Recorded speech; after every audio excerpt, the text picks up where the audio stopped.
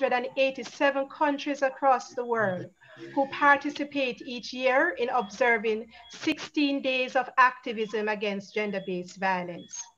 A warm welcome to you all who are here and those who will join. I hope that at the end of this forum, you'll be more informed, more aware, and that you would have identified ways that you can add your voice to the call for an end to gender-based violence as we explore the subject, intimacy, marriage, and gender-based violence, our response. We welcome our esteemed panelists, Mrs. Althea Laing, fashion model, educator, and CEO of Corporate Image, Reverend Oliver Daly, Minister of Religion and Family Counselor, Mrs. Joy Crawford, co-founder Eve for Life, and Dr. Peta-Anne Baker, social worker and social development practitioner. Today, we'll be hearing their voices as they share their stories and perspectives and give suggestions and resolutions to stem the spread of this pandemic of gender-based violence. To invite God's presence, we ask Reverend Hilda Vaughan, curate at the Mandeville Parish Church, to lead us in prayer. Reverend Vaughan. Let us pray. Lord of justice and mercy, we thank you for this opportunity of sharing. Draw us into your kingdom.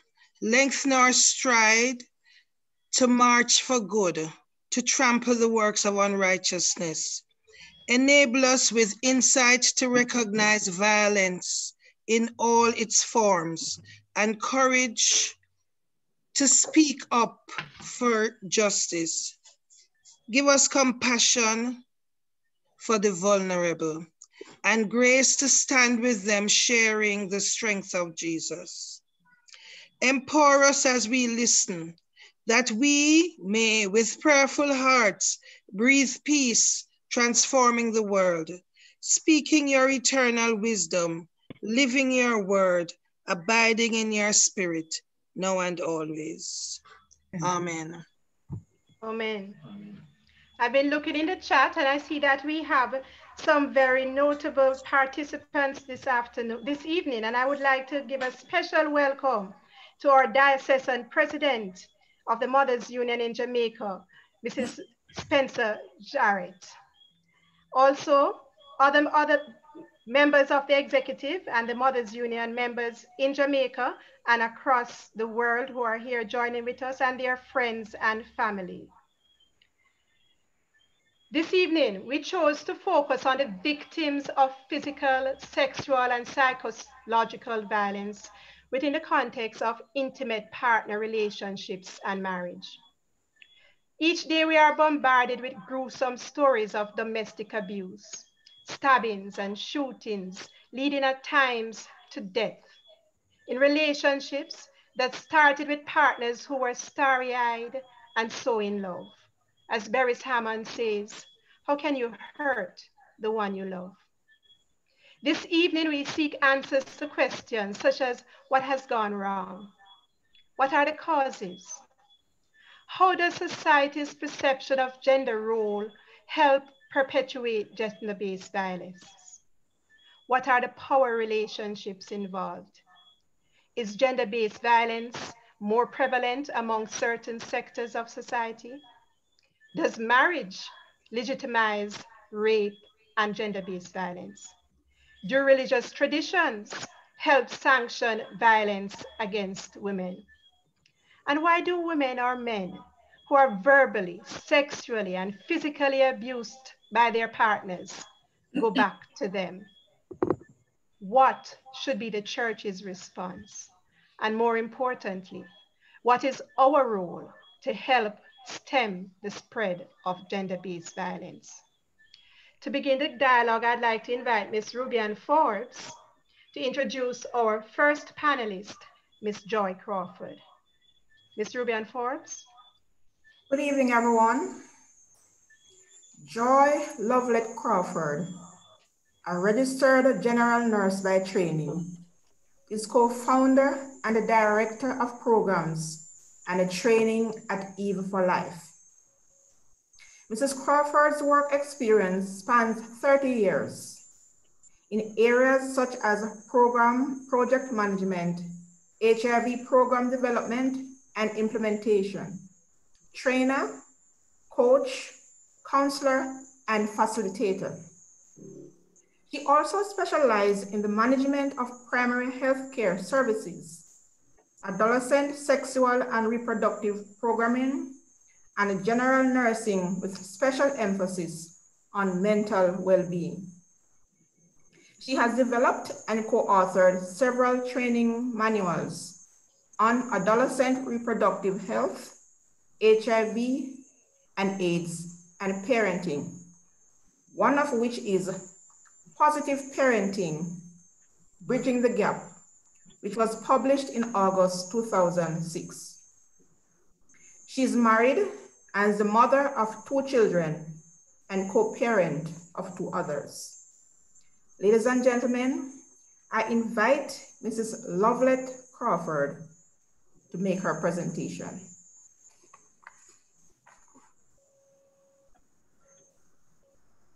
Thank you very much, Ms. Forbes. Um, I, I wish we didn't have to do those bio things um, sometimes, but um, good evening, colleagues, friends. I want to thank you for having me on this conversation. Um, over the last two hours, I've been agonizing about how did I end up here and what do I say. Um, the person who introduced us tonight said so asked so many questions, and all of those questions are relevant. But I want to start at the last one about what should we do. Mm. Um, I want to encourage us as we have a conversation that every time I think about gender-based violence and HIV and all the things that go with it, marital rape and all the discussions that we've been having and advocating for, the role of faith-based church mm-hmm. religion has always been a pet peeve of mine. Mm-hmm. Um, because one, I have such high expectation, and two, there has been so much disappointment. And so, as we listen this evening, I would not want us to leave here as practitioners without remembering something. I always think about the call in Jeremiah that call for acts. Is there no balm in Gilead? And is there no physician there? And that question has remained unanswered in my over 20 years of working directly with women and girls and families impacted by GBV. And in particular, when it comes to the church, there are so many stories that I could tell. One of the main thing I will say is in 20, 2008, myself and Patricia Watson co-founded an NGO in Jamaica to respond to the plight of women and girls who were being left behind in the national HIV response. And very early into our work, we had focus group discussions. And one of the conversation that motivates and drove our work was having a woman should have been about in her early 50s in a session. She's HIV positive. And we're doing this workshop about what it means to live with HIV and take your medication and all that kind of thing, giving them hope. And as I came to the end of it, I asked her what was one thing that she thought was extremely difficult for her as a woman living with HIV. And she shared with us that her problem was not dying from HIV. Her problem was dying a liar. And it struck me, and I was like, What are you saying? She says, I'm a Christian, mm-hmm. I'm a woman of faith. Mm-hmm. And since I got my diagnosis of HIV, I have had to start lying mm. about my status because I don't want anybody to know. And she says, I've lied about it for so long that I now lie about everything else. Mm-hmm. and one lie has added to another lie. And it really, literally broke my heart. It has never left me.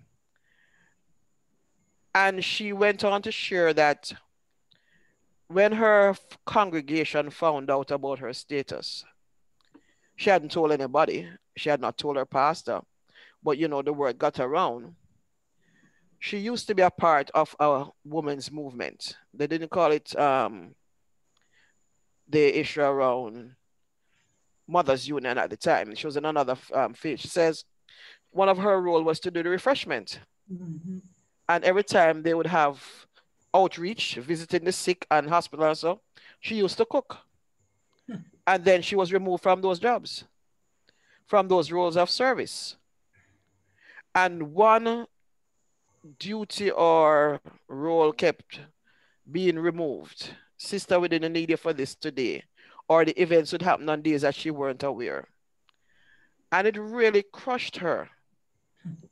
And she said, that level of rejection from her faith community mm-hmm. and the fact that she is now living a lie was more painful than the diagnosis of living with HIV.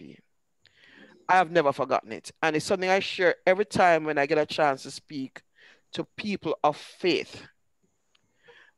I appeal to you do not underestimate how much we need you in this response to do the empathy and the love and all that is required for people when they're hurting usually would want to reach out to some God presence. And if not us, then who? Mm-hmm. I want to make two quick points as I close my presentation, my opening presentation.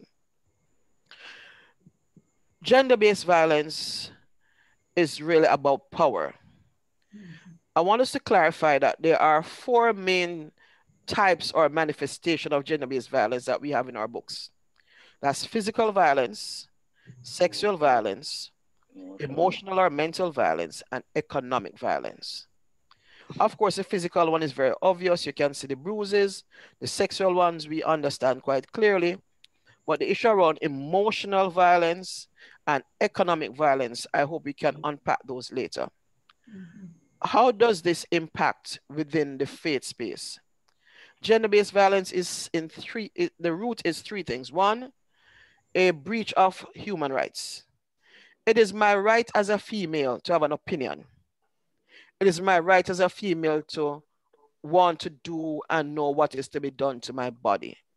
It is my right, a human rights, to participate in any decision that is being made on my behalf. So when I hear things like the girl, the woman talk back, she disrespectful, you know, she said no.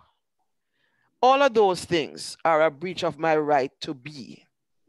The second piece of it is inequality a gender inequality, and this is cultural, not just cultural now.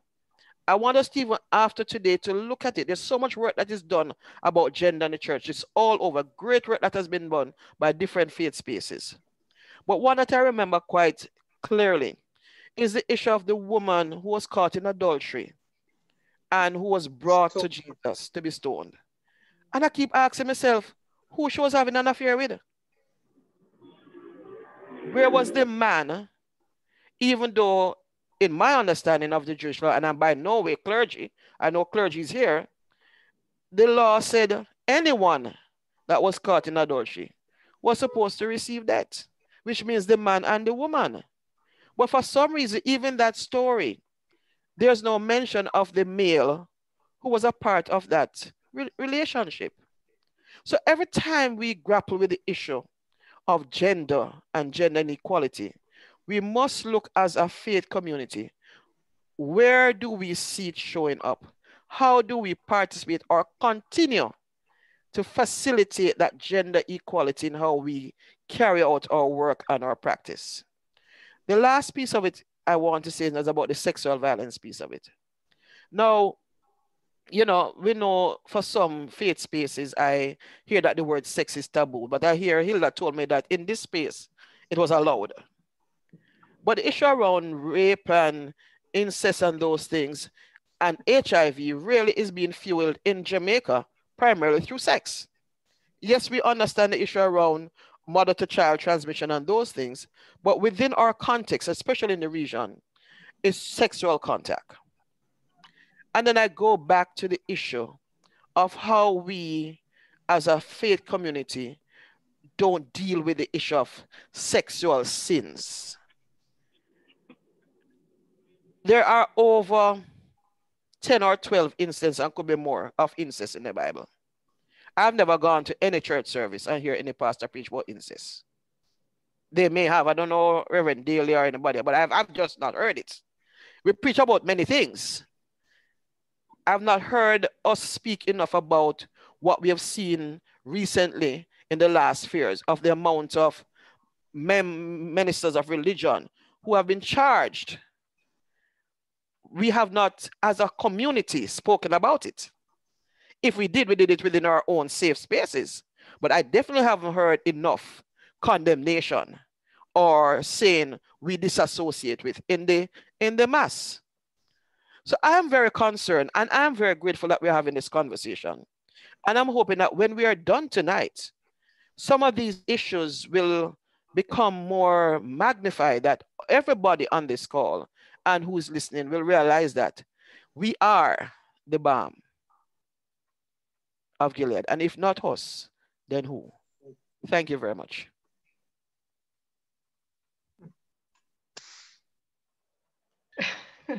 Mrs. Crawford, that was intense.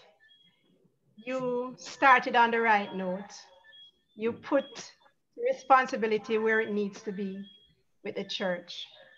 We need not to ostracize, ostracize rather, but to show empathy and love. We need as a church to speak up, speak about those sexual sins. We thank you. And we will continue to ponder what you're saying as we listen to the other presenters. And I hope that those who are here representing the church, and even not those who are not representing the church, would have left, even if they hear no one else, with something from your presentation to make a difference. Thank you. Yes. And I invite Ms. Norm, Mrs. Norma Ricketts to introduce our next presenter, Alice Althea Laing. I'm, I'm lost for words, Ms. Crawford. Ms. Laing. I always tell them, don't let me go first, Althea. Right. no, let us have Miss Ricketts. Miss Ricketts is going to introduce the lovely Althea Laing. Good evening, ladies and gentlemen. It is a real pleasure of mine to introduce our second presenter. She's a woman of many hats, a mother, a teacher, a fashion model, insurance executive, public relations manager, grooming personality development and image consultant, businesswoman, and we could just say she's multi-talented.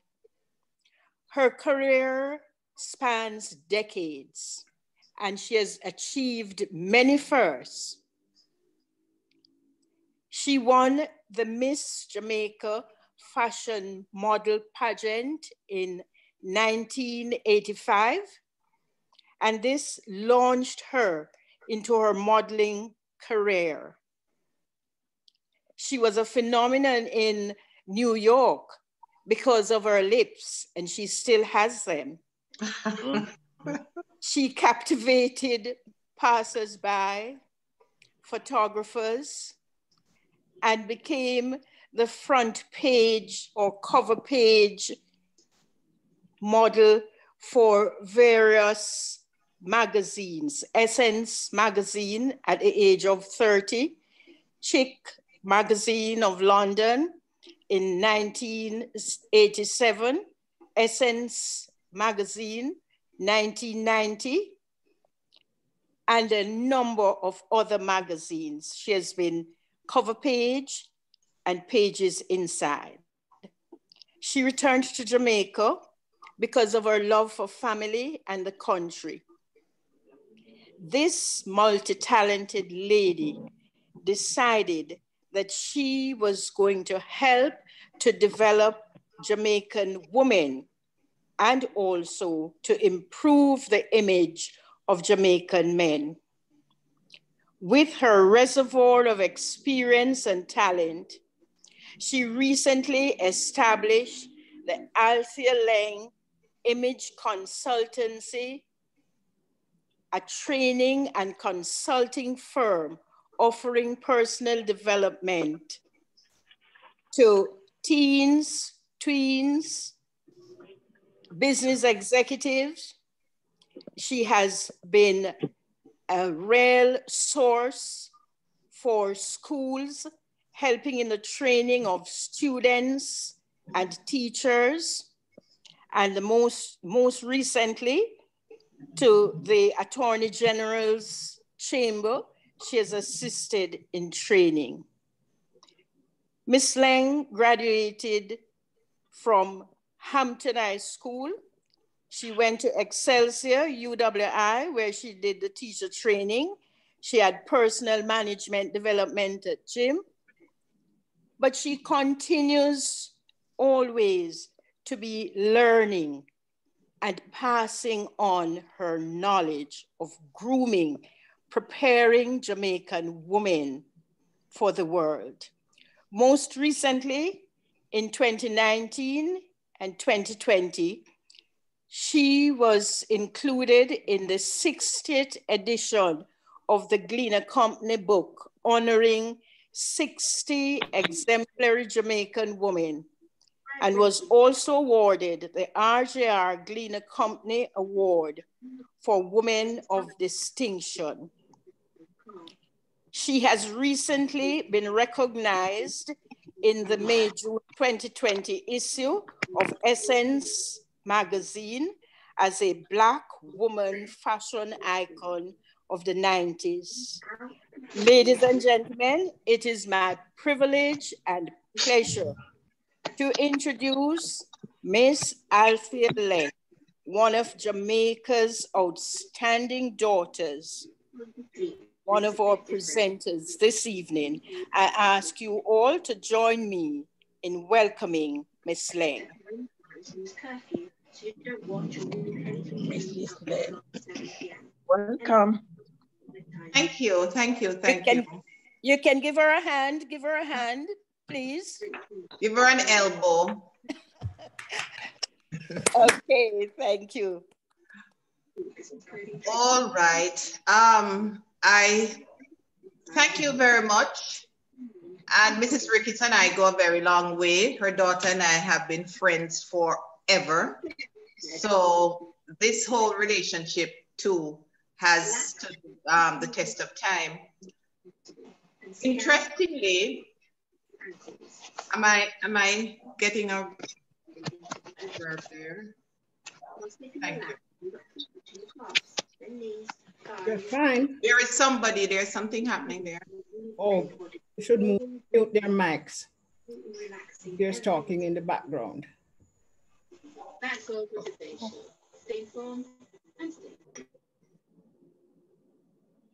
All right, that sounds better.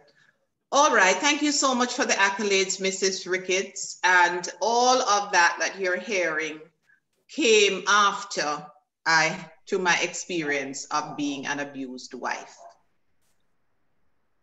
Um, I think I have healed over the years, but for me, I thought that only women from a certain socioeconomic strata could experience any kind of gender violence.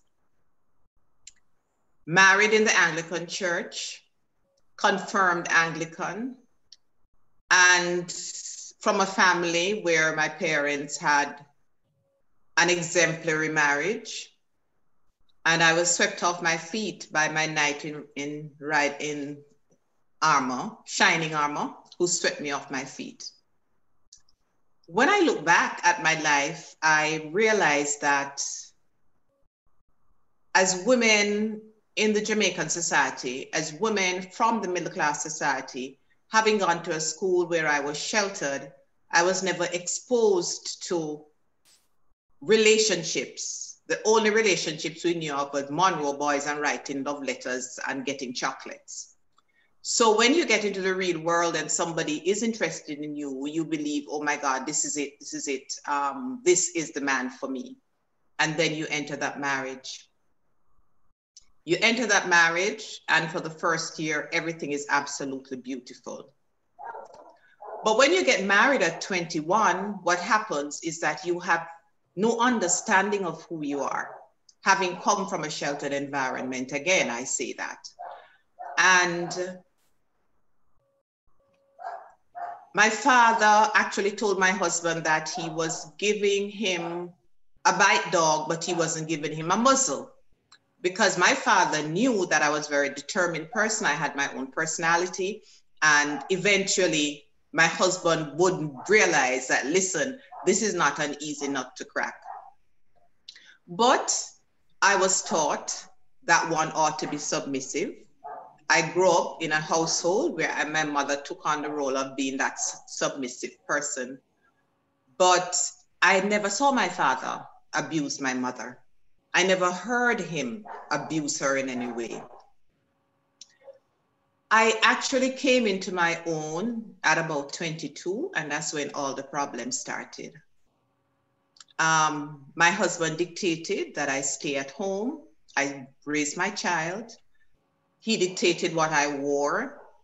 He dictated who my friends ought to be. And I did not respond negatively. I thought that was what marriage was about, right? Being the perfect wife and being submissive. But as the years went on, there was this burning desire to be and to become the woman that I thought that I was placed on this earth to be. And then the abuse started. I did not realize that I was married to somebody who was a narcissist. He wanted to control my money. I had to give him my check at the end of every month. He controlled, as I said, my friends. I was not allowed to go out. I did not have a social life at all. And then the greatest part of it was that my we were doing things trying to build life economically and then we started a pharmacy the lady who came to work in my pharmacy was a pastor's wife and i'm sharing this with you this evening this pastor's wife ended up being involved in a relationship with my husband getting pregnant for my husband and eventually having a child for my husband that shattered my world because when I spoke about it, this is when the physical abuse start, uh, started, the emotional abuse, the verbal abuse, the torment. And my only escape was Aggrey Irons. When I went to Aggrey for a session, my, Aggrey called my husband. My husband told Aggrey that I'm a mad woman and he's not coming down to speak with him because Aggrey wanted to see how best we could work it out. I had to deal with embarrassment from everybody knowing that he was involved with this woman, that this woman was the pastor's wife. And I thought about it real hard. And I decided that this is not what I want for me. And a lot of women who linger in these relationships have to understand there's nothing that you can tell them. They have to come to the realization that this is the time for them to move on. When I decided to move on, it was one Sunday morning, I decided I had enough. I didn't know where I was going. I knew I could not go home because my mother and father really liked my husband. My aunts and uncles, they thought he was a perfect person for me because he had two different sides. He was Jack, um, Hyde, Jekyll and Hyde. And um, so when I decided to leave that Sunday morning, what he did, because he didn't want the neighbors to know that I was leaving, he actually threw everything out over the balcony onto the ground, panties, everything. And I just put them in my car and I drove away. I didn't know where I was going. But listen to me, when you leave everything in the hands of God, He finds a way. I thought I was on the verge, I was in that dark place. And I jumped in that car and I drove to Negril. I had enough money to stay in a hotel for maybe two days until Monday when I would go to the bank and get some money. And I was on the beach and I was there I was there crying. And this gentleman came up to me, my angel, because God sends your angels in your deepest, darkest trials. And I started sharing everything with, with, me, with him. He was Hugh Maitland Walker, and he was a manager of Shaw Park Beach Hotel. And I just opened up to this gentleman, a total stranger. I told him everything I was going through. And he said to me, Althea, go back to Kingston, get the rest of your stuff. I am going to create a position for you at Shaw Park Beach Hotel.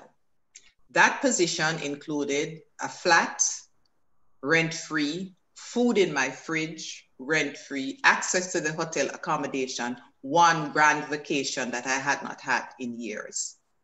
And I moved into the Shaw Park Hotel. However, the Monday morning when I went to the bank to get some money to do some stuff, all the money was drawn out of the account because he was a banker. But that was, having gone through that, that was the best thing that ever happened to me. Because if that did not happen, I would not become the woman that I am today. And I, my, I took my limes and I made lemonade and proceeded to move on with the strength that I knew that I got from inside and the fact that I knew God was preserving me for a reason. And then I moved on to Shaw Park Beach Hotel. After Shaw, Shaw Beach Hotel, then came the competition. Then I decided to enter the com- competition and I won, and the rest was history. Now, there are so many women who want to remain in a space because of the fact that they're living comfortably, they're driving a nice car, and they lose themselves in these relationships because some of us women believe that we can't do without a man. I have been single for over 25 years and I'm loving it because I've fallen in love with me. It has been a journey. I have raised my grandchildren through all of that.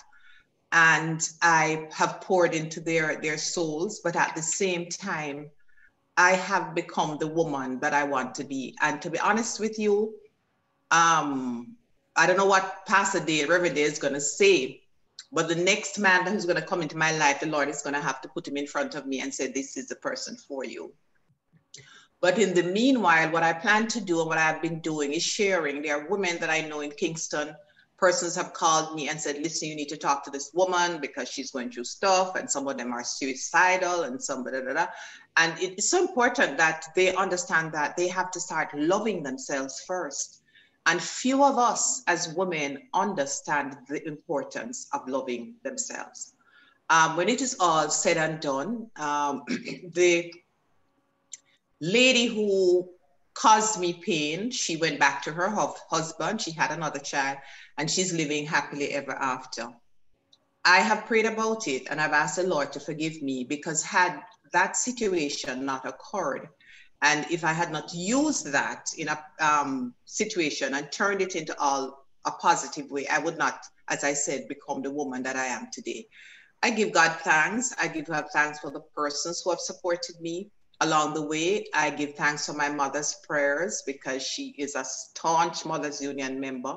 She's 94, she's my best friend, and um, she just keeps praying for me. And I ask everybody who is online, there's so many women like myself um, who needs to understand that when you go to the church sometimes to share their answer is that you are married and you have to make it work. But it's not all the time that the marriage can work, especially if you're unequally yoked. Because of the fact that I was not allowed to go to church and it was crazy. So um, I honestly believe that whatever I can do, however I can work with the Anglican community, or any other community, E for Life, whatever it is, to see how much I can do to bring hope to another woman who has been hurting because it's not easy. And a lot of us are afraid of reaching out to a psychiatrist or a psychologist because they want persons might say, Lord, she mad or she not right in her head or whatever it is. But if you need to reach out to someone who you want to share with, non-judge somebody who's going to be non-judgmental, you need to access the services that are available in terms of our psychiatrists and the psychologists on this island. And I thank God that I am here, I am whole, and I do not need anybody to validate me because the years have taught me that the best is still yet to come. And at 65, who knows, I might ask Pastor Daly to, to marry me soon. You never know. you never know. But th- that's my story. And, and it's something that we need to understand that life is very precious and nobody needs to sit in a situation that is hopeless because we as women we are in charge of our lives and we need to ensure that we become the woman that we ought to be that's a synopsis mm. thanks for sharing Miss Althea Laing, Mrs. Althea Laing, you use limes to make lemonade. You have come from being a young, middle class, abused, emotionally and physically wife to an accomplished world-class fashion model, etc., etc., etc. And you have brought to the fore the role that the church plays. On the one hand, you were taught that, you know, you're married, you should make it work. You're a wife, you should be submissive. But you made that right choice at the right time, and with God, you were able to turn your whole life around.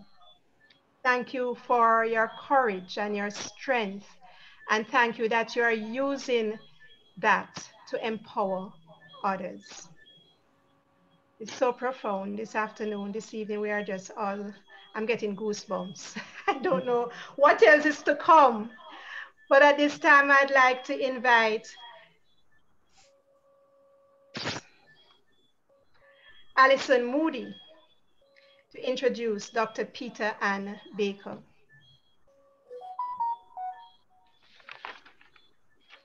Miss Moody, Miss Nichols, Mrs. Nichols. hearing me?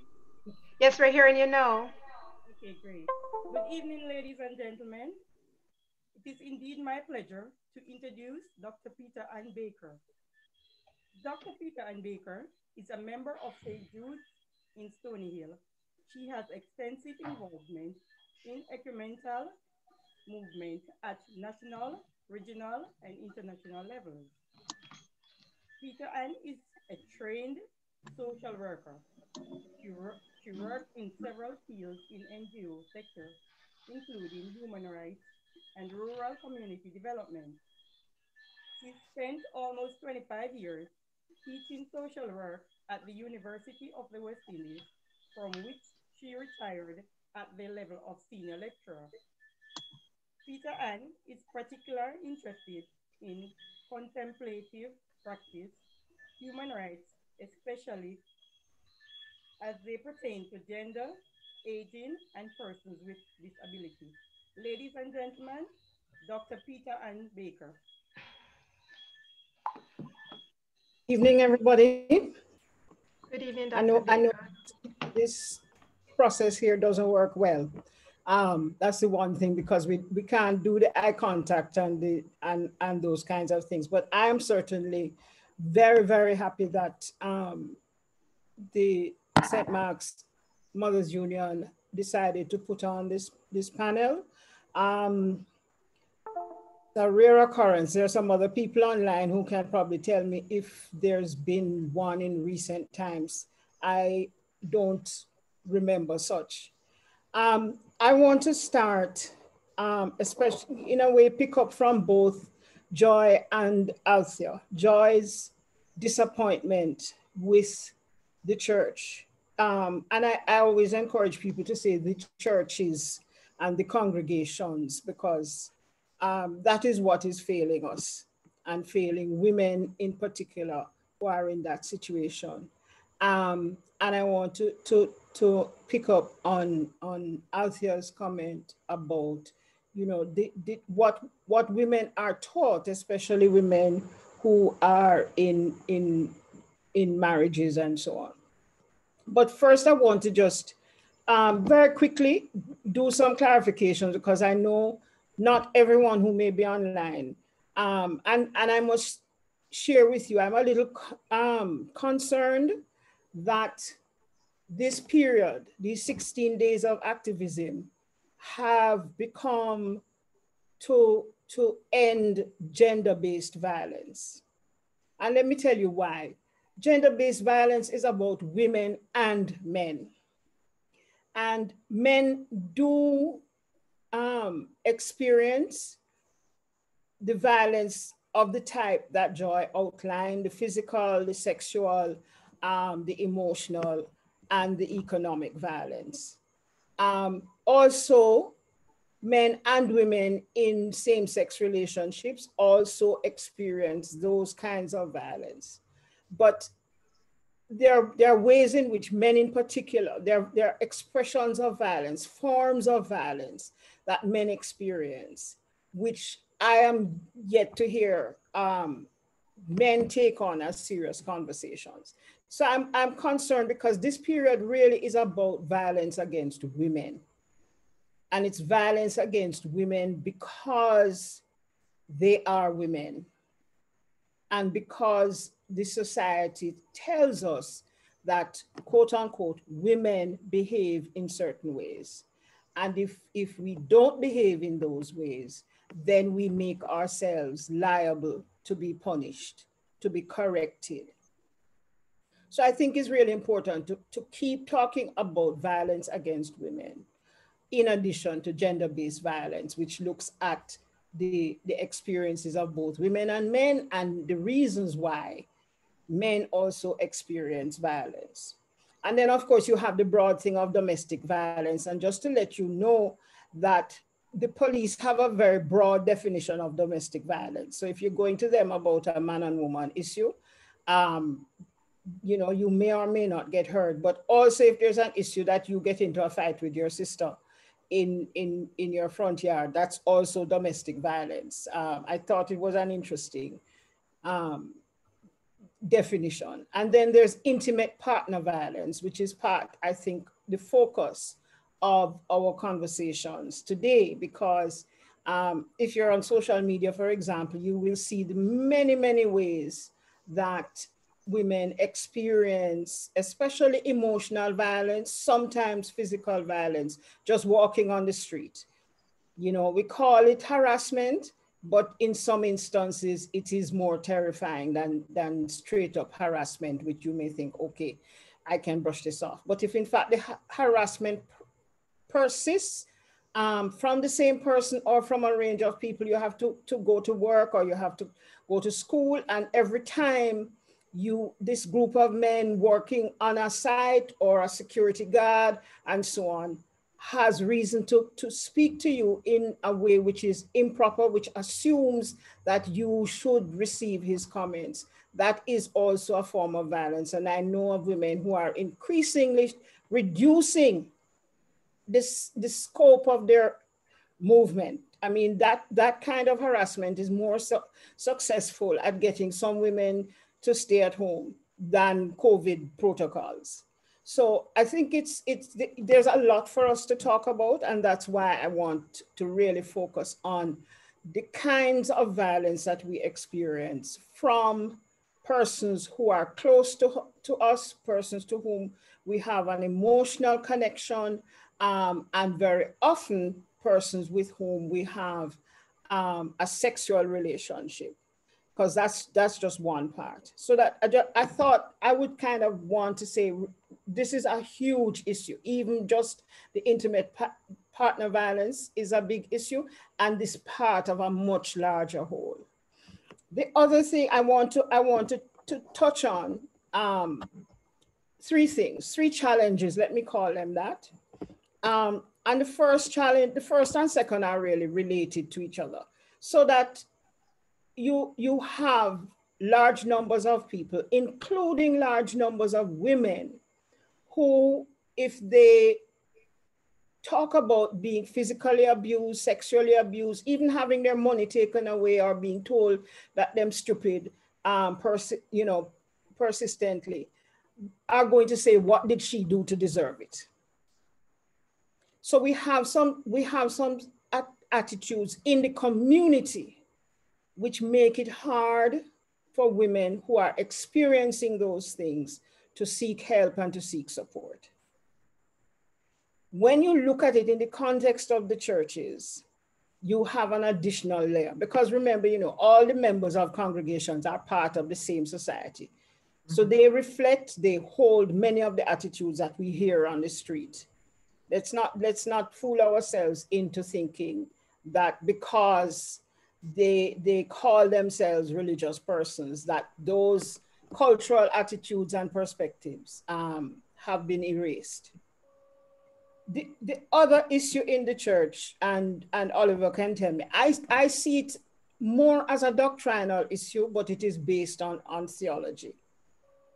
And, and that is because those in those who are Christian and also those even I know members of Islam and and certainly um, you know people of the Jewish faith, the the man has been centered in in those religions.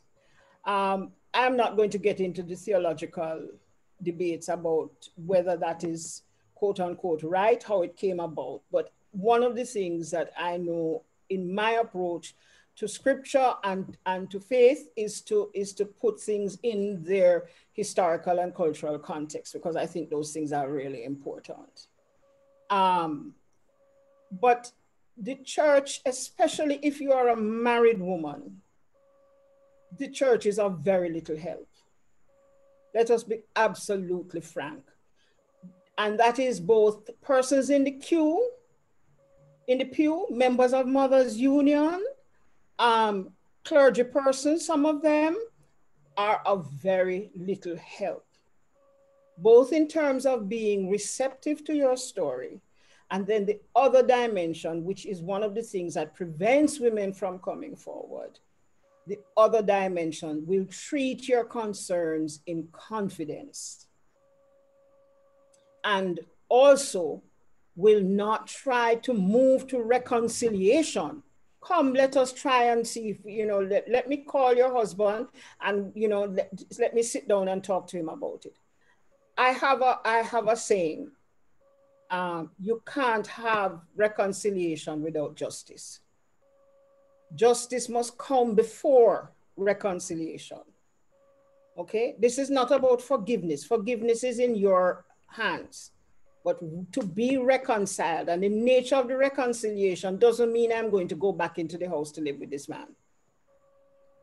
And justice may mean that he has to find somewhere else to live because part of the inequity is that very often it is the woman who has to get up and find somewhere to go especially and including the times and that's one of the things that makes women stay especially if they have children to care for and they think about where am I going to go with these children. So there, there, there are several dimensions of both the way the, the, the, faith communities and the way in which they interpret their faith, the way in which they, they promote certain kinds of ideas, which, which you will find particularly when you take very literal approaches to scripture. And it's one of the areas that I find amusing. I, I always say Jamaicans love the Old Testament much more than they love the New Testament. So, so the, the, the violence and so on, are, those things are all, you know, theologies of domination that keep you down. So the, there, and one last thing, and that's not related to cultural or social or church.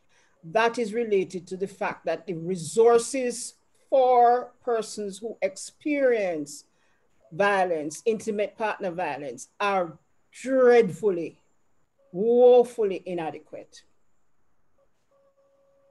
E for Life, Women's Incorporated, which has operated a shelter for about, I think, at least 20 years, which is a non-government organization. The government of Jamaica only this year, a month ago, declared the opening of a government funded shelter for women who have experienced abuse.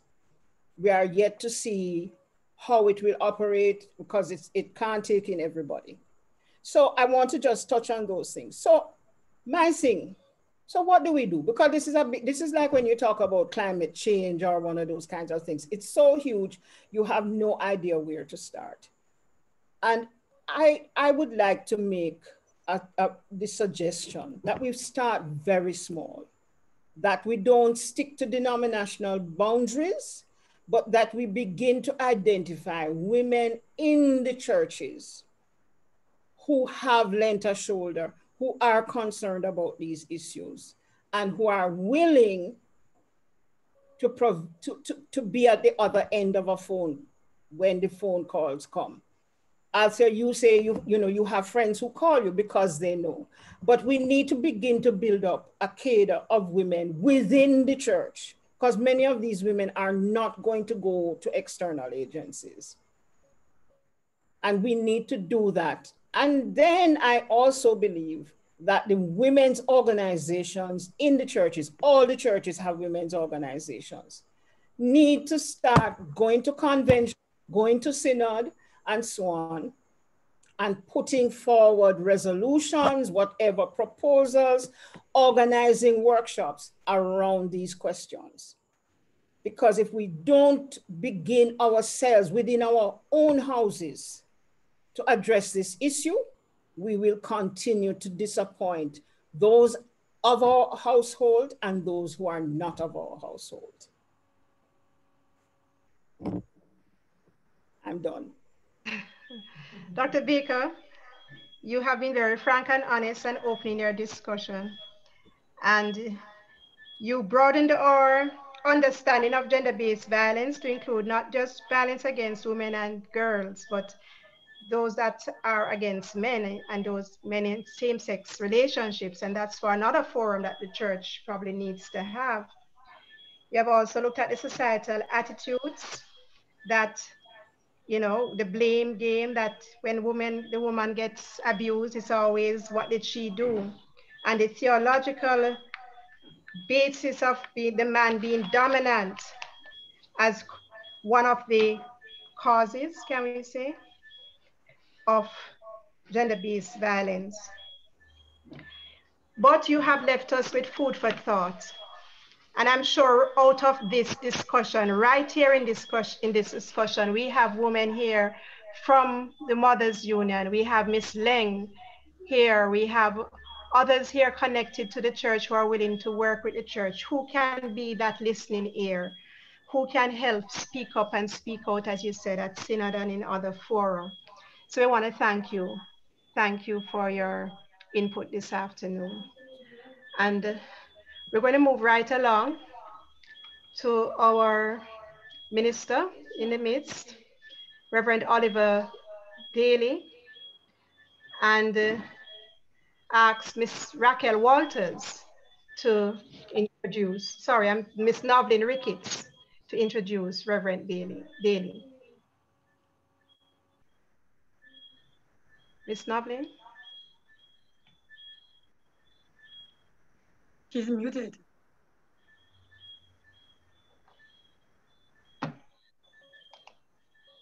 Miss Novlin.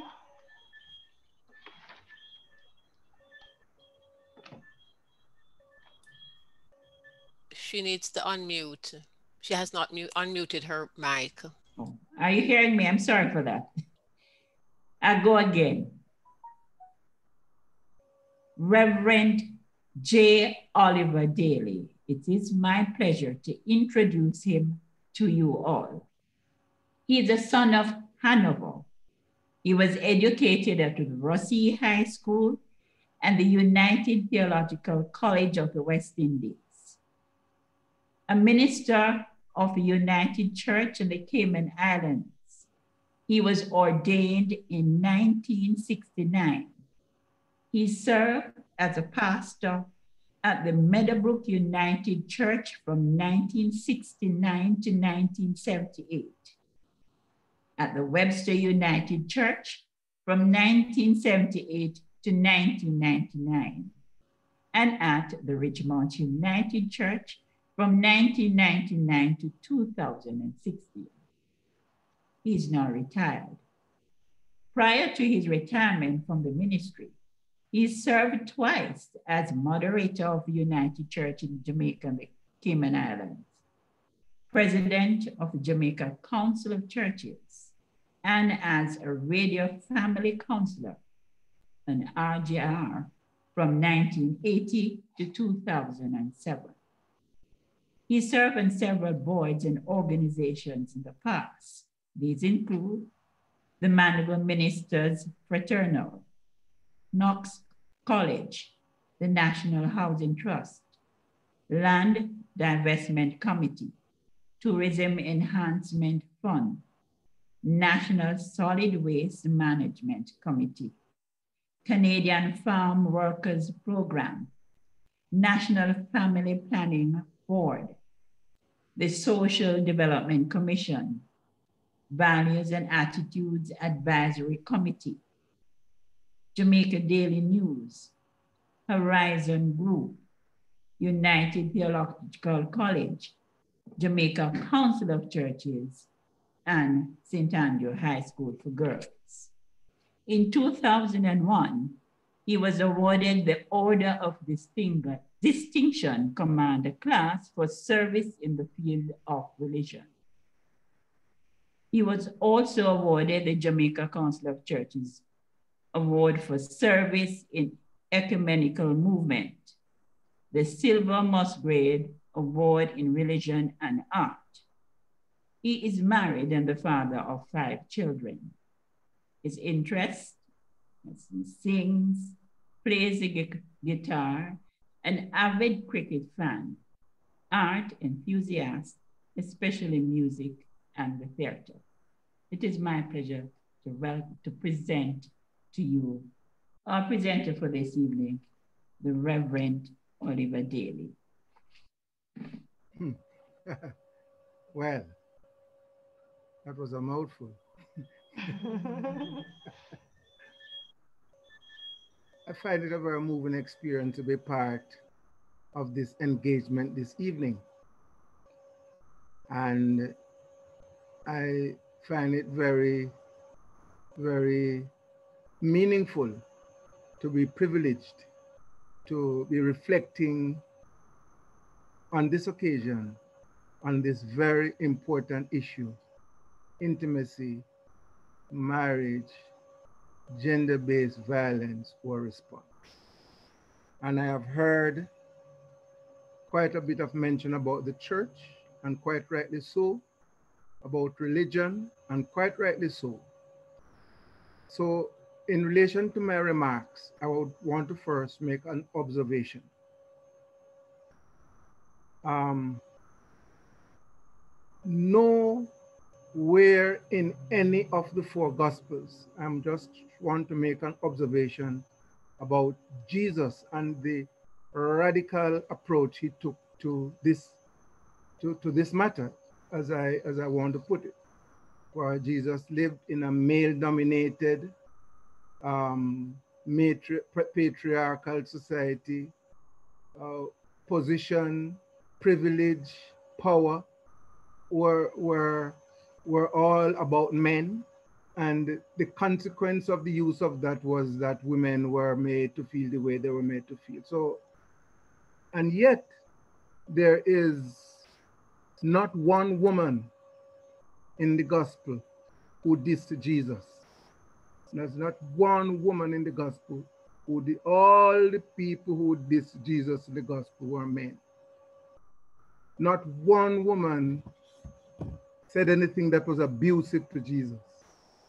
Not one woman said anything that was uncaring, unhelpful. Not one woman said anything that was destructive not one woman participated in anything in any way that was unhelpful to his ministry. And I believe that this was so because Jesus, in his teachings and his gospel stories and his parables, affirmed women. Affirmed women. The most positive relationship in the gospel was between Jesus and the women who were there. He affirmed them, he empowered them, um, so much so that there, there was a woman who went into a party put on by one of the most uh, disrespectful of the type in Jesus's day, um, a Pharisee, and she went in, barged in, and took charge, clasping Jesus's feet, disrupting the event, and Jesus empowered her and praised her and put down the man in his in, in the whole in the whole affair. So much so, I'm just saying this because I, I just wanted to say, I say this all the time in the church and to the churches. Let us pick up the examples of Jesus. See how he puts the matter. In, in Luke's gospel, there's a there's a there's a there's, Jesus was was on a tour, and among the women who were there, hear what the gospel says: Joanna, the wife of Chuza, the manager of Herod's household. So the manager of Herod's household, the manager, the wife of one of the ministers of Herod's household, had left and was actually financing Jesus's ministry. That same Herod who put down John the Baptist for taking a stance about his treatment of women. So, so I, I'm just wanting to make that point about Jesus and of Jesus and the women in the gospel. And you can go in and out. Joy spoke of one whom Jesus affirmed, he that is without sin throw the first stone at her. One of them actually disrupted a public teaching session Jesus was having and said, because she felt so good about how Jesus approached her. He said, Blessed is the womb from which in which you were nurtured, and the breast that that that that, that, Okay, good. So, okay. So I'm just want to say, therefore, I think the church should begin to understand how Jesus approached this matter. And to that extent, because I would now want to say something about how, how we what do in relation to all of that. Given what Joy said and what Laing said and what Peta-Anne said, I want to say this to women who, who are being abused um, we need to carry this message and in affirming all women and say to them, only the abused can stop an abuser from abusing. Let us carry that, that, that message. Over all these years, when I have engaged with people, and mostly I haven't had a situation where it was the man who was being abused, although I'm sure they are. But over all these years, it was the woman. And I keep on saying to the woman, this is my line of engagement. Only you can stop being abused. The, you, the abuser normally cannot stop being an abuser. Only the woman can stop it. So we have to look for ways of helping her to stop it. And um, Mrs. Staleng found a way and and we need to really get this across. So when you talk about reconciliation and forgiveness and all those things, let us fit it into that context. Forgiveness, yes, Peter, and forgiveness is unilateral, but reconciliation is mutual and it has some goals. And yes, the goals are about good relationship and about justice and about healing of memories and about putting shattered lives together again. And it does not necessarily mean that you have to return to the same household. Okay? So only women, only the abused rather, can stop the abuser from abusing. So I say to the women, you need to get to that place where you take control of your life because you have lost control to an abuser. And what does take control mean? One, an abuser likes you to keep his secret. Doesn't want you to tell nobody. He wants you to keep what is happening as a secret. Tell somebody, tell the police, tell your family. Scream in the house if he's abusing you. All right? Don't take responsibility for what he is doing to you because he has a way of ridiculing you, demeaning you, neglecting you, and then make you feel that if you had not done what you say they say you have done, he wouldn't have had to do what he did.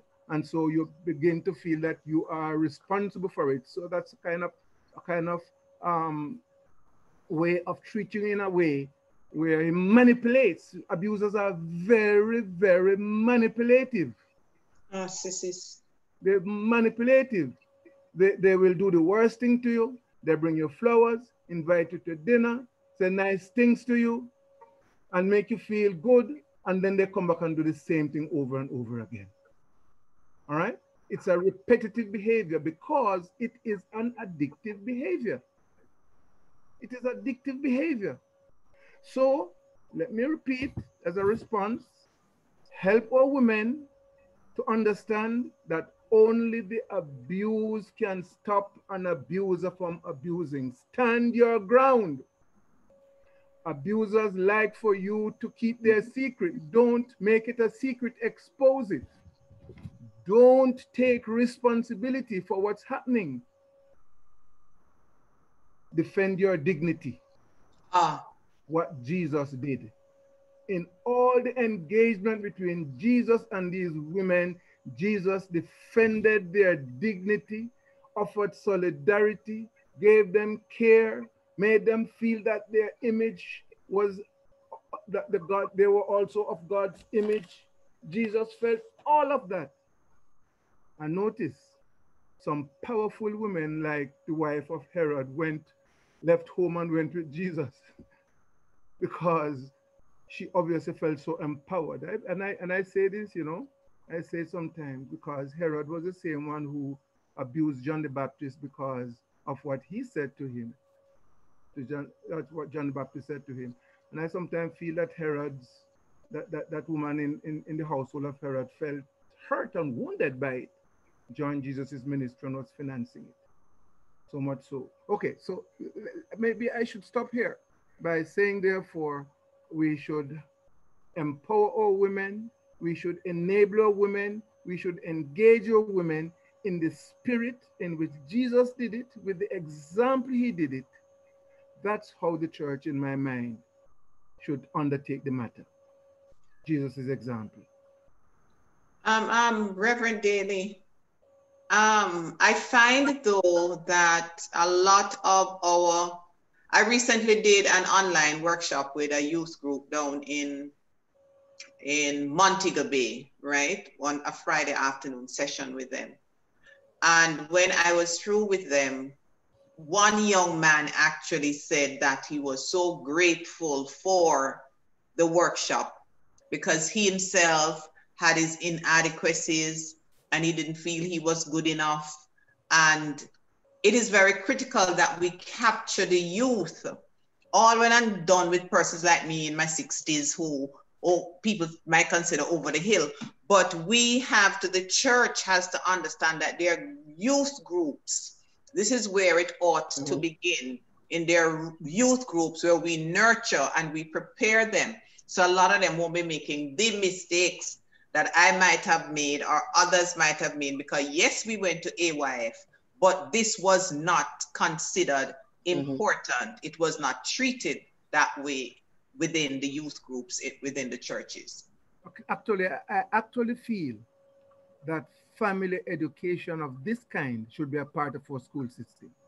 Yes. Yeah, but I have for years we've been saying that, and and nobody seems to. And I don't know, sir, because as a teacher in the system, this is something that they have. They have like workshops. They have like PD workshops, but this approach is not taken. There is, if I may, there is also the HFLE program, but a friend who used to um, facilitate teachers, HFLE teachers said that the major problem in speaking about things like this in school is that the teachers were not comfortable with their own sexuality and in their own skin. So they could not speak to the matter in a clinical way. It, it and a lot of them she found were um, sex was a sin and uh, um, so they had a difficulty with that. But Pat, Pat, um, Pat Phillips had her hand up. I don't know if she wants to come in here. And after Pat, I'd like to refer to something Reverend Daly said. Yes, thanks. Before Pat, I would like to say that we're going to take some questions and feedback, but we ask that you keep it tight because we're trying to keep within the time. The conversation will have to continue and uh-huh. continue and let us go. Pat? Can I go ahead? Can I go ahead? Yes, please. Okay, thank you so much. Just want to affirm the MU for this move and to say that there, there, there is much happening now in different organizations and the church is definitely getting on board. As a member of women's, as a member of Women's Media Watch Jamaica, over the 30 years we've been existing, we have had numerous invitations from various organizations, including the church. The challenge is that the church needs to be moving in this direction now of having it institutionalized. And so the Anglican Diocese, I know, has passed a resolution at Synod um, some time ago. So we need to also at- approach it from that angle of, um, of, uh, of ensuring that we follow up and follow through with these resolutions. And um, Oliver, I know over in the United Church as well, right across the board, there are things happening, but we need to ensure that it becomes institutionalized. So it's not just a one-off workshops. Yes. Thank you so much. Yes, thanks for your work, Ms. Phillips. Thanks. And for that Thank information. Is there anyone else with a question or a feedback? Uh, my hand is up. Pottinger. Okay, Miss Pottinger, please go ahead. Hi, Rev D. Audrey Pottinger here. How you doing? Listen, I, I'll try and keep it very brief. So I um, I must thank Dr. Gordon Stair for inviting me because she's a, a faithful Anglican. I'm not an, of the Anglican Church. I'm of the United Church. And so I'm really glad that I joined this space and I work a lot with uh, in terms of ecumenical space. I want to just sort of quickly um, mention that or just add to the conversation about the need to institutionalize the family life education within the schools. Um, someone mentioned that the teachers are uncomfortable with their sexuality. I also find that many of them have been sexually abused.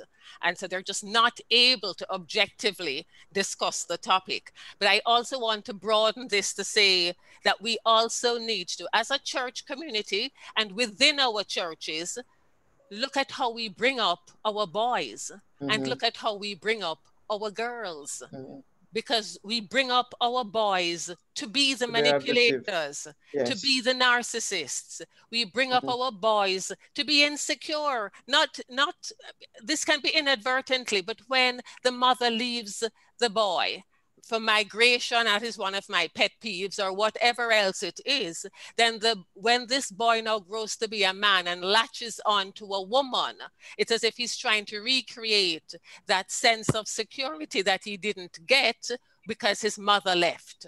And so we find that that insecurity now leads to the perception that um, the person is is cheating and the obsessiveness with this person and the need to control and control the money and the sex and everything because they're thinking that they need to do this to keep the, the woman in check. So I think we really need to look at that. And we need to look at how we bring up our women because our girls bring up our girls because our there's too much out there about the, the get a man who can uh, provide for you and then they become dependent. And I've done research on intimate partner homicide, suicide. So this is the extreme, not just intimate partner violence. And one of the things that came out is the, the significant age difference mm-hmm. between the men and the women. Mm-hmm. You know, so there are a lot of the old, the middle-aged men are taken up with these young women, and they can be very, very charming initially, and then you find that the control comes in when the woman comes into her own skin and yes. wants to do things in a different manner. Mm-hmm. So I know I'm mm-hmm. taking up a lot. I'm going to stop now. I'm a clinical psychologist for those who don't know. So I take this from a psychological perspective. Thanks. Okay. Dr. Pottinger, we are blessed to have you here with us this evening. And thank you for that insight. Okay, doc, sure. I'm not sure if Dr. Reverend Daly has something he wanted to add. If not, I'll ask Miss Phillips. She had her hand up too. Uh, no, I, no, I, I said that, that the school system needs to embrace this. So um, I'd lo love to be added to the list of people who. All right, so I think right. let us go with Miss Phillips and then Dr. Baker. I, I, had spoken, I had spoken, but there's a quick one to add to this, um, yes. to say that the big issue of power and the yes. imbalance between women and men, which the church has been very uncomfortable with, the inequalities of power, which the faith-based organizations do perpetuate, is also a huge underlying problem. Thank you. Thank you. Peter, may I go before you? Sure. I've been trying to speak. Yes, thank you. Um, just want to um, extend something that um, Reverend Dillis said about men. I am I totally believe that one of the, the strategies is to empower women. As an organization, that's our tool. We empower women and our girls to come into their own, as Althea shared. And that is really where a part of the break come from. But I want us to address this issue that we have the excuse of this toxic masculinity mm-hmm. and that men can't help themselves and um, men um, are by nature violent and that kind of stuff. And what this does is that it actually justifies and sometimes renders, um, give men excuses and, and groups of men get together and they say it's a man thing. But it really is not. These are issues where the individual, the human male, must be engaged to take responsibility for ending what he is doing. Um, these are these are behaviors that are learned and culturally nurtured and you know have have um, values issues mixed up in it. So I, I I think if we don't address that part, the woman who gets empowered and leave really just leave a space for the next woman that goes to end up with this man who thinks that this is what he's supposed to do. So we must address this thing that we can no longer allow men to feel that because they are born with a male organ, then they are supposed to do these things. I remember one man said to me, as long as the woman in his house, he's supposed to beat her because that was an expectation. So we will empower women. Um, we will really help them to take back their space, take back their rights, but we must remove the excuse from this so-called toxic masculinity. Men can transform themselves and we must insist and put in the programs in place for them to take responsibility. So I just wanted to share that part of um, my story of how I see it. Yeah. Joy, I want to, to because I, I agree with you um, that that we can't, you know, I get nervous every time we talk about how we raise our boys and so on and so forth, and women must empower themselves.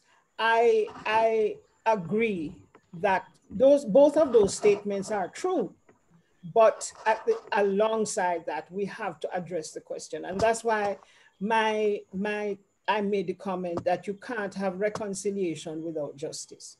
So if in okay the church may feel you know pastors and whatever may feel that they're not um, honoring their mandate if they don't seek to keep the marriage going but you cannot. It is it is it is ungodly. It is immoral to send a woman who is being abused and not just physically emotionally and in other ways back into the arms of her abuser.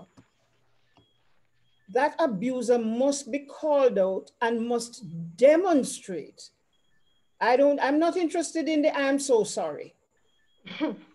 interested in demonstrating that you are going to participate in whatever program is necessary to get you to deal with your attitudes, with your beliefs, all of these things before even the idea of reconciliation can come about. And there may be reconciliation, but there may not be reunification in terms of the two parties living under the same roof.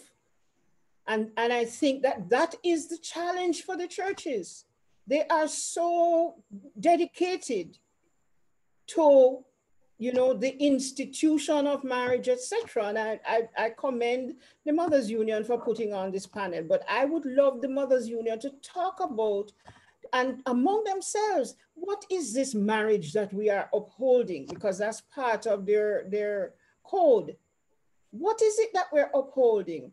Because we cannot uphold marriages which are characterized by violence. So for me, and that, that's really critical, that we, the men have to be addressed on this matter. The other, one little thing I wanted to say um, is that there is a very big elephant in a cupboard in a church, and that is clergy wives.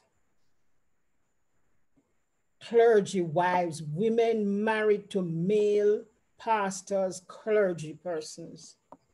There is a lot of abuse going on. Speak it, my dear. And it is not being addressed at all. To the addressed, you know at yes, a particular church Sunday and a, a very, very, very little clergy wife yeah. Came. She was in obviously in such distress, um, and so on. And the only people who even acknowledged her existence out in the car park, which is where she was, were us, the visitors. The mem- and I had to ask, and it the members of that particular church knew her, knew who she was. They stepped past her. And to make matters worse, okay, she finally got out of the abuse. I don't know what about her mental health, and they are divorced. Nothing has been done about that clergy person, that clergyman who has yes. remarried. Exactly. Yeah. Okay. Um, you're you're right, Peter, that it is an issue, and I I think more and more churches are, are beginning to take it on, and to deal with it in a very maybe it's private, but I know I know that it um it is, and and and are beginning to appreciate the necessity of being in constructive solidarity with a woman and cause most times that's what it is. I also need my, um, I, I, about three months ago, I helped a wife leave a home, um, leave a marriage. Um, using the same principle here, it was so abusive and um, I helped her leave. Um, I, I, got, I got the police. I, I, I put everything behind it to help her to leave a, an abusive relationship in which she had lost her sense of worth and mm-hmm. value and, mm-hmm. and, and, sense and sense of personhood. I, I, I, I believe that, that, that we must not facilitate the sinful self-indulgence of anyone in any marriage. I don't believe we should facilitate it either in counseling or in theology. I believe that sometimes marriage dies and when it dies, we have to find a way to help people to, to deal with death. But I'm, I'm sorry, Reverend Daly. Very abusive marriage. And there was a child, and I and I helped that woman to end that relationship, then and help them to work through the courts. And I can't. I wish I could show you her letter of appreciation. Now I am relating to the man. I don't believe they should ever go back together because of what has happened. Yes, Reverend Daly, but she has left the relationship and you have helped her to leave the relationship. there are many scars that I know that woman is still carrying, right? There are many scars that she's still carrying on the outside. And like um, I think it was Patricia saying, whoever the psychologist on you have to continue your treatment. I do. There are days when I feel like I would give up, still go through days like that. And yeah. when days go like that, I pick up the phone and I call Patrice Charles and I said, Patrice, so and so and so is happening or whatever, because it takes a long time to heal.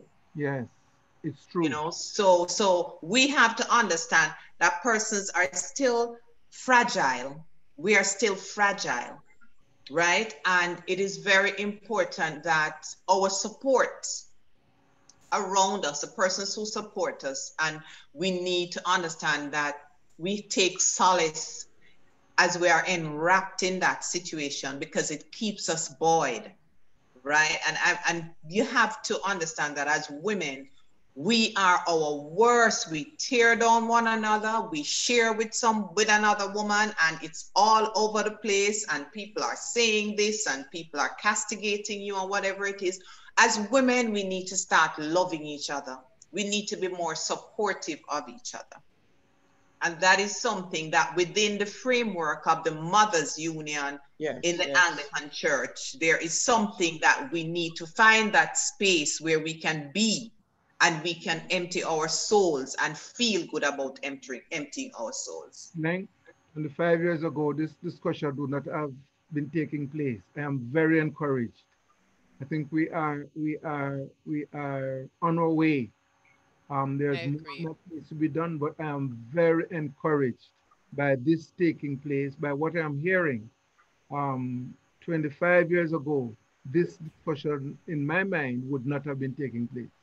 Not at all. I remember when I came out with my story in the Gleaner, there were people who wrote to the Gleaner and who said that because my career is over, I'm trying to seek attention and whatever. But I was really genuinely saying to women, you can move on in spite of all the things that have happened around you. And, and as a voice, I don't think my voice has been used enough because we are such a superficial society. We have all these gender this and gender that and whatever it is. But hitting the nail on the head and exposing it for what it is because it is festering and it really it is it's going to end up smelling one of these days and it's going to be very very sad for us as a society. Mm. I, i'm sorry. Should i be? You're going to be a part of the solution miss Laing and we really you know it has been a moving more than an hour almost an hour and a half together. And i am really privileged. I feel good that we could all be together this afternoon. We have had esteemed panelists, we have had experience, we have had persons in the audience who are advocating and doing mammoth work out there for gender affairs and ending gender-based violence. And we have been given our mandate as a church, as a mothers union, as a people. And we can only continue the conversation. We will call on all of you here with experience to help guide our path and to help take part in whatever we task that we seek to do as we move ahead. So we're going to invite Miss Raquel Walters, Mrs. Walters, to give the vote of thanks. Good night to the panelists. Good night, Good night Mrs. Shadow. You have been doing a great job moder moderating. Miss Mrs. Crawford, when you, you, you started out, you told us that if not, if not us, then who will do it? The charge to the church. And that is a big charge because we need to take a stand somewhere along the line. We need to put our foot and say, okay, this needs to end. We need to get together and get this thing sorted out because our ladies are hurting, our men are hurting. Miss Laing, you came with a true to life story, right? That many ladies can relate to.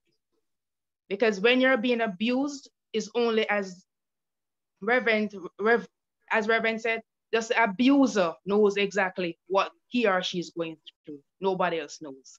Mm-hmm. Right. Miss Dr. Dr. Peta-Anne Baker, you came from a, another angle. Let us understand exactly what abuse is, because sometimes we might be walking on the road, somebody called to us, we think that's that's nice, but no, we, we are being abused.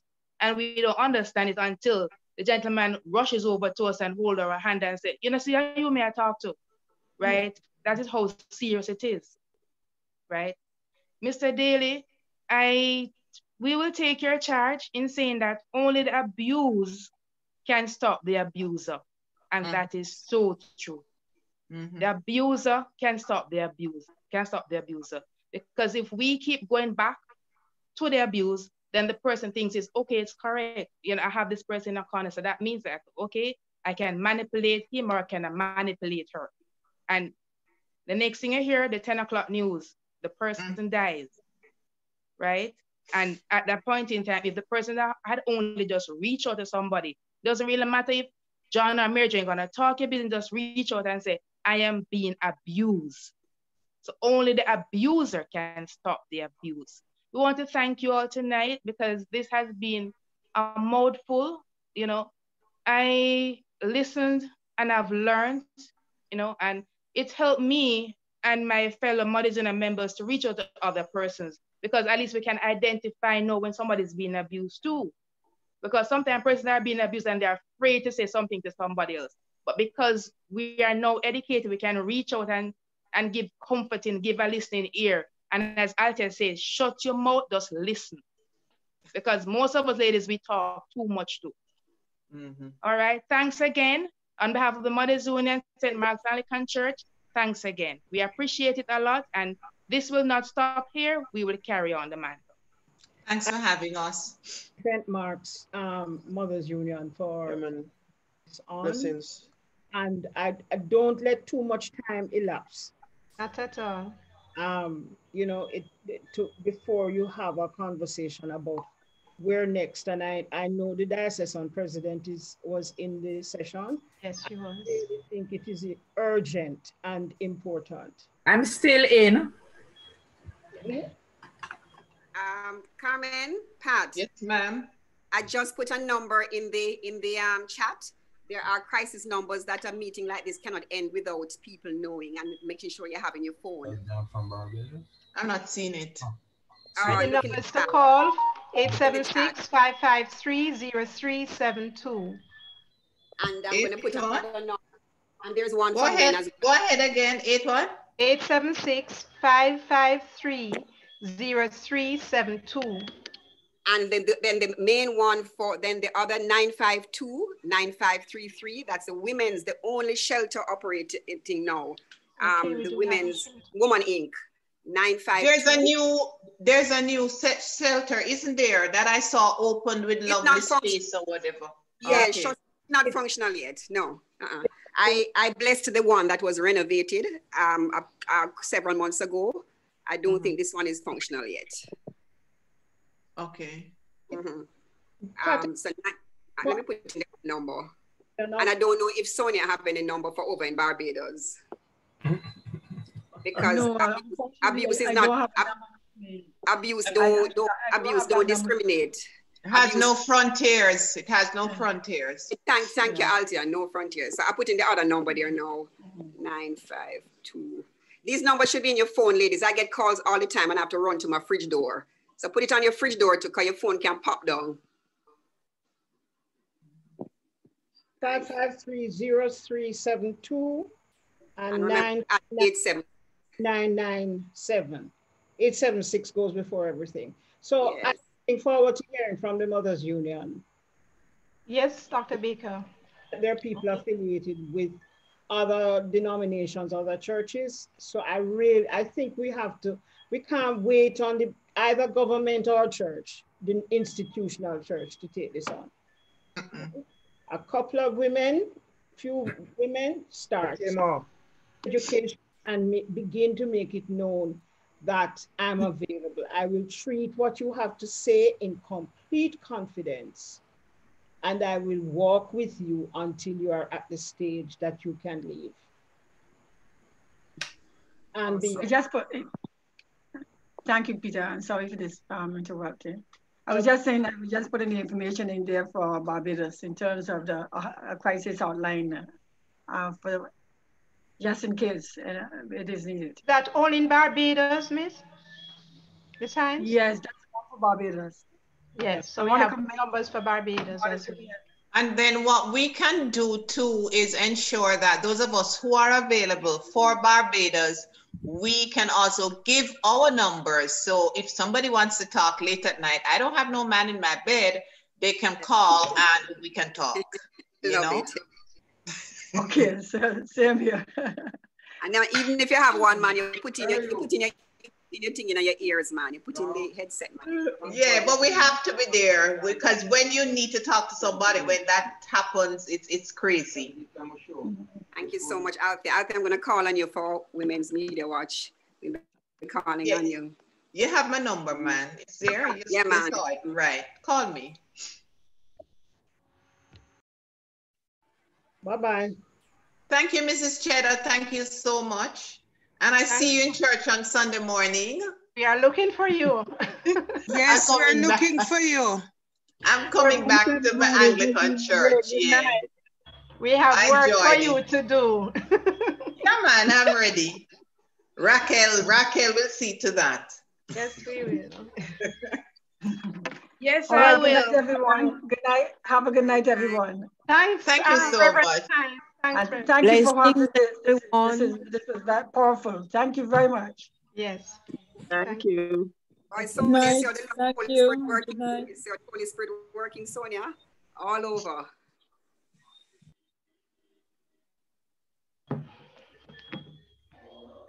Good night, all. Thanks for another enlightening session. Um, Sonia and I have some work to do. Good night, all. Good night. All right, brother, for being here. One hand can't clap. We need a man them too. Exactly. Yeah. Uh-huh. Uh, I, as I was sharing with Elna today, I, I am, I'm somewhat sheltered. I grew up in a home with all women, so I don't know anything about abuse, unfortunately. Well, fortunately. Fortunately. So um, these things are are really an eye opener, and I, I'll, I'll declare this now um, from the session on the 26th. I have, if you can see me that I've got gray hair, so I'm, I'm over 60. I've been an icon for that time. And in terms of spousal abuse in the clergy, um, my head is still growing because I probably was not close enough to any clergy supposed to know of this. And at my church, we've had a number of clergy pass through there over the years, and I think all of them except one was married. And that was like, I'm being, I was shocked to hear this. And, and from what I'm hearing over these two sessions, they seem to be prevalent.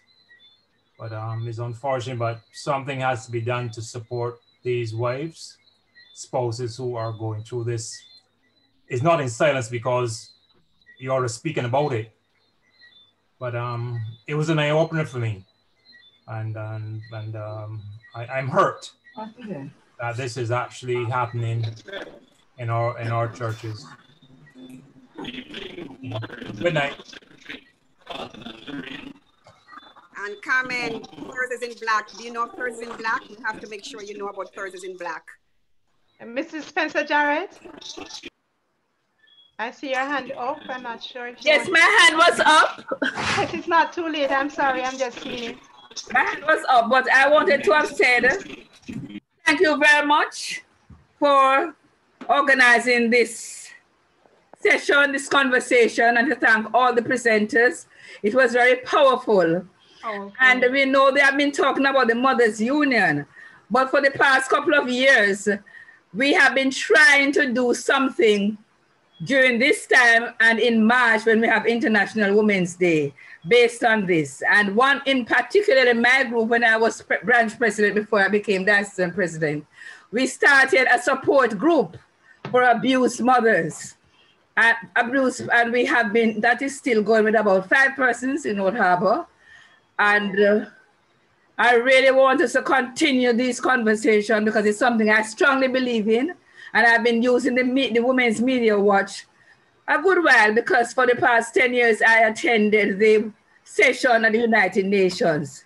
Thank you. Working with this group. So I really feel passionate about this. I, my head is swelling, Sister Paulette. I'm happy that you took it on. And there are other branches I want to come up with something like this. I have another year to go as president, and I hope that we'll have more mileage going out and moving forward. Thank you all for your participation. I feel good that the Mothers Union is doing something. Congrats to our new branch president, Miss Novlin Ricketts. Oh, she's a new branch president. Yes. Why didn't you tell me? Congrats. Congrats, Novlin. I'm happy for you. I told you. Yes. I told you. Yes, she has hit the ground running. Yes, and thank you, Reverend Vaughn. Reverend Hilda Vaughn. Reverend Hilda, yes, Reverend. I know she's behind it also. So, Sister Paulette, Sister Novlin, and Reverend Hilda, and all the presenters. And the new executive, we have Miss Raquel Walters and Miss Alison Nickel. Okay, you tell me about them on Saturday after our meeting on Saturday. Yes, yes. okay, I'm very happy. So you can take on the other position I have for you then. it was it was a joy to be part of this session. I'm, I'm speaking from St. Lucia. Hi, Pat. We meet oh, again. Also, hi. but um, I would like to encourage um, at some future time, not too far away, that we have the men's group in our Anglican churches take this conversation as well.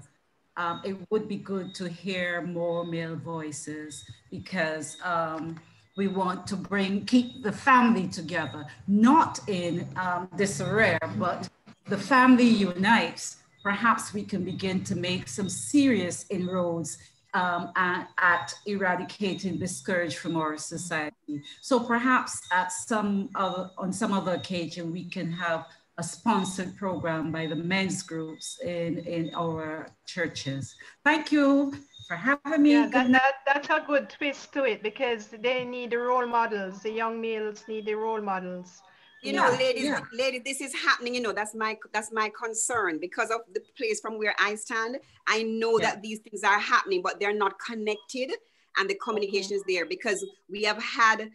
Um, when Women's Media Watch did something on human trafficking and abuse, it was the men's group at St. Mary the Virgin that invited us. So okay. things are happening, but the connection isn't happening, which is why I'm saying we need to the way yes. to approach yes. it from the institutional point of view. The peace, right, peace right. thing thing is not working. Yeah, yes. Yeah, yeah, thank you so much. So proud of you all. Bye.